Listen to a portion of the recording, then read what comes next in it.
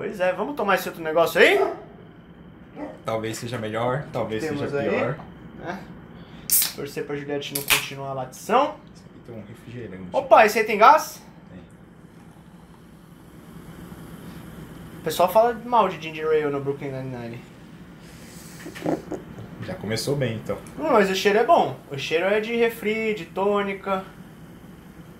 Melhor que o outro. Bem melhor que o outro, o cheiro. Vamos ver o gosto, né? Esse também é coreano? Acho que. É. Bom, veio no mesmo lugar. ah, mentira, tá escrito Canadá. O nome do bagulho é Canada Dry. Puta que pariu, não. Eu comprei numa loja coreana, então. É isso aí. Globalização é fantástica, gente. Vocês podem dizer o que quiser, mas é verdade. Cheers. Experimentar essa porra.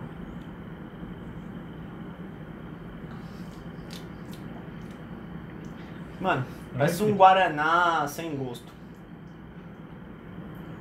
Tem gosto de gengibre. Parece um Guaraná sem gosto, mas não é aguado. É. Ele não é água. Será que esse é o Guaraná americano? Deve ser, né, meu? A versão do Guaraná Antártica americano é Ginger Ale, viu, gente? Vivendo e aprendendo, não sabia nada. É extremamente parecido com o Guaraná, só que ele não tem o gosto característico do Guaraná tem. Não é muito. Nada demais, não. É, não é ruim. Longe de. Ô, Juliette! Caralho. Já reclamaram no outro. É, lógico, meu pai prendeu ela bem no meio da gravação, né? Aí fica fácil. Já tem o Lores, tem o Galo. É, o ambiente, a sua casa é meio viva, né? Pois é, exatamente. Ó lá, foi só falar. Agora vai começar todo mundo aqui. Inferno do caralho. O que mais você trouxe aí, meu, pra gente ver? Vamos lá, eu acho que pra finalizar assim é mais interessante mesmo, deixar mais bonita, pelo menos na minha opinião, pro final, Ó lá, tá brilhando, meu. O que, que é isso? que é a labradorita. Labradorita. Exatamente. Labradorita. Por que, que ela tem. Nossa, é muito louca. Você já me deu uma dessa pequenininha, né? Sim, sim. Nossa, meu. Por que, que ela tem esse nome de Labradorita? Então, labradorita não tem nada a ver com, com um cachorro labrador. Apesar do nome ser parecido, inclusive as suas origens são diferentes. Labrador, se eu não me engano, veio da Europa. O que? O cachorro labrador. Eu não lembro exatamente. Eu acho que veio da Europa. Putz, agora eu já não sei, meu. Mas o, a origem do nome labrador não tem nada a ver com o nome do cachorro. Labradorita vem da cidade de Labrador, no Canadá. É. Talvez o cachorro tenha vindo de lá também. Labrador Retriever. Mas eu acho que não. Eu acho que sim. Eu acho que Labrador veio da Europa. Ele- a raça começou na Europa, depois chegou nas Américas, se eu não me engano. Depois a gente pergunta pro Deco, quando ele vier aqui É. também. Decão adestrador nos próximos convidados. Não percam, já se inscreve aí no canal do Bicho Paulistano, deixa sua curtida para conferir os nossos próximos convidados aqui no podcast Bicho Gente. E os cortes, claro, né, separadinhos por assunto, para você não precisar ir assistir também o episódio inteiro, que eu sei que às vezes a gente não tem tempo, né? Exatamente. E a Labradorita é legal porque ela tem esse brilho, essa característica, por conta de nanotecnologias. Vocês que acharam que os seres humanos inventaram a nanotecnologia, Aí, ó, se fudeu, como diria o Costinha. se fudeu. a natureza, ó, a natureza é foda e ela já trabalha com nanotecnologia há muito Faz tempo. tempo, né, meu? Então, Labradorita ela é da família do feldspato, ela é um paglioca... paglioclásio. Plágio. É quase plágio. Plágio. Puta. Como é que é o nome? Paglioclásio. Paglioclásio. É. Puta que pariu. É, Tá. Cara, tem tanto nome É complicado. nome científico é tudo assim, né? Nossa. Planta, bicho, pedra. é- Cientistas são muito bons em descobrir coisas e péssimos em dar nome, viu? Putz, grilo. Mas como que ela tem esse brilho? Ela tem esse brilho aqui, e não é um brilho que, que já foi definido antes, porque o brilho da labradorita se chama labradorescência, que bem vem específico. dela mesmo. Só existem dois minerais atuais conhecidos que tem, a labradorita e um outro paglioclásio, que eu não, não, não vou lembrar o nome. Meu, muito cristal tem nome bizarro, porque eles dão nome de acordo com o nome da pessoa que descobriu e que foi o primeiro que definiu. Então se o cara se chamar Caralha 4, vai se chamar Caralha 4 Anitta, ou por aí. é, é foda, a galera... A calcita foda. é, que alguém que tava de calcinha. Não, calça é por conta de calço. Ah, tá. é por calço. Entendi. Não são todas, mas as que tem os nomes mais bizarros. Caralhita, poderia... Tipo, tumortierita, vulfenita, Não, elemento químico também tem isso, né? elemento químico Essa também. porra que tá pitando, deixa eu tirar o som. Pensei que eu tivesse tirado já. Não. Mas a, a labradorescência acontece em certas condições, não são todas as labradoritas que têm labradorescência. Você pode ver, a parte preta é quando não tem a labradorescência, e o brilho é quando Só tem partes. Só tem partes, porque você vai ter uma formação muito peculiar e um resfriamento muito lento, porque é como se fossem lâminas de paglioclásio que se formam uma em cima da outra e existe um espaçamento essas- entre essas lâminas de 128 a 250 nanômetros, é, nanômetros, né? Nanômetros. Tem picômetro também que eu gosto É. dessa medida, ela é bem legal. Picômetro, Picômetro.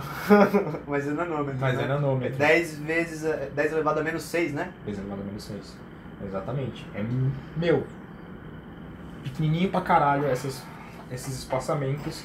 E aí, quando você tem essas lâminas espaçadas, voltadas para a mesma direção, ou quase na mesma direção, você obtém o brilho mais comum, que é o verde e o azul o amarelado. Quando elas estão opostas, ou seja, mais ou menos assim, que aí tem um lado certo e tal, é, você tem o brilho mais raro da labradorita, que é o vermelho ou roxo. Labradoritas que tem brilho roxo e vermelho são quando tem essa diferença na formação. Elas são Caraca. mais raras. Essa daqui, como ela está numa qualidade muito alta, ela recebe até um outro nome, pra mim é um nome muito mais da hora, que se chama espectrolita. Ah, parece até nome de super-herói, né, meu? Pô, espectrolita parece o nome de poder, sei lá. Ou que tira o poder, né? Tem a É. Kryptonita que fode o Superman, né? Kryptonita existe de, de verdade, sabia? Ah, eu sei, o, o sorvete, a bala, né? É verdade.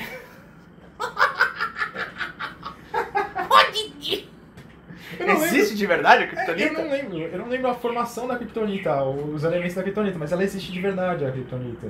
Caralho. Justamente porque foi inspirada na, na Kryptonita real, né? Que veio dos quadrinhos. E, meu, tem várias formações, tem, tem uma se chama Moldavita. Essa tem, nossa, Da Moldávia? Hum, Pior que não. Moldavita é uma das pedras que mais tem falsas no mercado. E Moldavita geralmente é cara pra caralho. Por quê? Moldavita se forma só em entrada de asteroides. Entrada Meteoro. quando, quando cai. É, quando tem um impacto de um meteorito aqui na Terra, não é nem da, não só da entrada dele, porque é necessário ter um impacto na formação, né? Uma pressão muito grande. E aí você forma a moldavita. Então ela é uma pedra meio. parece um vidro esverdeado com umas craterinhas, assim. Ela parece uma pedra alienígena mesmo. Agora que você falou, eu fiquei pensando, né? Putz, caiu um meteoro, velho. Que merda, né? Um bagulho que a gente não pode controlar. Mas enfim, voltando. Ah, mas isso acontece direto. Acontece, mas é meio assustador pensar nisso, mas tudo bem. Tá, não queremos Moldavita. Não no seu quintal. Não, nem perto. Mas eu- essa pedra também fiquem ligeiros se vocês forem comprar, porque não é fácil achar e. Aquela coisa, meu. A mente humana é maravilhosa, né? ela adora, adora trabalhar com as coisas erradas. Passar a perna no outro é maravilhosa, né? Passar a perna no outro. Gente que vende vidro falando que é opala, aquela- aquelas opalas brancas com todas as cores brilhando. Cara, aquilo é vidro. É mesmo? É vidro produzido artificialmente. Deve custar o quê? Um real, um, um negócio desse tamanho de vidro. E aquela lá que o pessoal queima, ametista? Ah, ametista. Ametista elas queimam pra vender como citrino. Eu queria ter um exemplo, um exemplar falso, mas eu não tenho. A ametista, ela é uma pobre coitada. Por quê? Porque assim, a ametista é, é um quartzo, quartzo roxo, e ela tem a, a tonalidade roxa por conta de inclusão de ferro. Então, se eu não me engano, é F2. F2. que inclui ali na, na formação do dióxido de silício do, do quartzo e forma ametista. O citrino também é um quartzo, só que ele é um quartzo amarelo. Ele é muito mais raro do que a ametista e por conta ele é mais caro também. E o amarelo do citrino é um amarelo até parecido com esse aqui. É, quando você faz exame de urina, tá escrito lá cor amarelo citrino, sempre, né, praticamente. Exatamente. O amarelo Você tem que ficar um tempo sem beber nada lá e é, nunca vai sair transparente. assim. O Nossa, que merda, isso aqui conseguiu piorar mais ainda agora. tá. o amarelo de uma o amarelo de um citrino, que na verdade não é um citrino, ele é um amarelo mais alaranjado. Por que, que é um citrino que não é citrino? Porque eles pegam uma ametista, botam num forno a 400 graus e vira o roxo, se transforma nesse amarelo alaranjado. Porque é como, se eu não me engano, é como se adicionasse um íon de a mais ali no, no ferro. Então ele faz uma a, a molécula dá uma pequena mudada. Então não vira mais, não é mais Fe2, é Fe3 que, que Uhum. acontece. Então tem um movimento ali de, de elétrons que fazem com que Altera a composição da parada, consequentemente a é, cor. meio, não é nem que altera a composição, mas altera tipo, o posicionamento do ferro. Então ele meio que, em vez de ser S, SiO, que é o dióxido de silício, né? Si2O, o, o ferro se torna um ferro 3. E aí esse 3 forma. É, dá o- a possibilidade da luz refletir na, na cor amarela alaranjada. Só que isso prejudica toda a estrutura da pedra. Então, Prejudica ainda? prejudica, Então porque você- O pessoal falsifica o negócio e ainda te vende, te vende um negócio pelo que não é e um negócio muito mais frágil. Muito mais frágil. Se você tiver em dúvida, ah, uma drusa de cisti- Leva um martelinho assim. Não precisa nem de martelo, você quebra com a mão. Você quebra com a mão? Você quebra com a mão. Tá brincando. Não. Ah, mas o cara vai falar, você tem que pagar, né? Ué, se o cara tá vendendo como citrino, eu falo, ah, o citrino não quebra na mão. Ametista, quebra, a ametista queimada quebra na mão, você pode fazer só, pff, ela vai quebrar inteira. Caraca, meu. Porque o processo danifica tudo. Existe. Ah, mas existe sempre a galera que leva um passo a mais. sempre a galera, tem uma galera que leva um passo a mais. E aí a falsificação de topázio. Como assim? Topázio também é amarelo, né? Meio douradão. Topázio assim. tem várias cores, né? Tem o topázio branco, o topázio amarelo, mas o que eles mais falsificam é o topázio azul, que é um dos mais bonitos. Caraca, inclusive. meu. Topázio azul, quando ele tem uma cor, um azul muito forte, geralmente ele é irradiado. Eles usam radiação, cobalto radioativo, que o, o Cobalto azul. cobalto é azul. Eles bombardeiam cobalto na pedra, no, no topázio. Ele consegue segurar um pouco desse cobalto, então ele fica mais azulado. Só que você termina com uma pedra radioativa. E a galera vende isso no maior foda-se. Sim, aqui no Brasil não tem tanto disso, mas lá fora você pode encontrar. Teve Sim. lá em Goiânia, né, Césio? Quase, famosa. quase. Porra, realmente, cobalto ele é... tem alguns isótopos radioativos, né? A maioria, se eu não me engano. É, e cobalto é fácil de você. relativamente fácil de achar. E aí, meu, você leva pra casa um negócio radioativo, é isso? Não tem como você saber. A não ser que você tenha um. aquele Geiger Counter. Contador de Geiger, assim. É, pesado. Você não tem como saber. E aí. Ah, vai falar, você vai morrer por intoxicação por conta disso.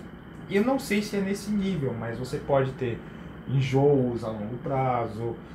E, gente, Ah, imagina, pessoa põe do lado, vai trabalhar, põe a pedra do lado, tá grávida, por exemplo, tá ligado? aumenta a chance de câncer, o cara é quatro. Tá louco. Tem, a galera que faz as coisas erradas.